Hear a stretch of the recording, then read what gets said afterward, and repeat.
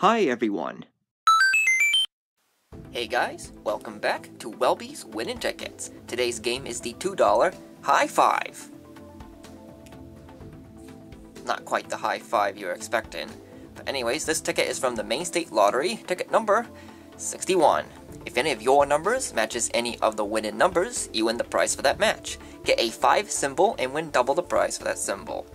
I'm gonna go symbol hunting for that number 5.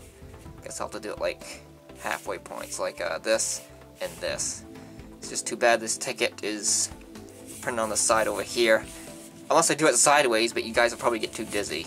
Okay, here we go. Where are you, 5? Number 1.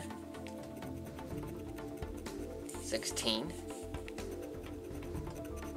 12. 9. 20. 7. 19. 6. 11. And 8. No 5s, and every number is individual or unique. I wonder if I'll match two numbers. Let's find out. First number is 18. Ah, I don't get to match that, thankfully.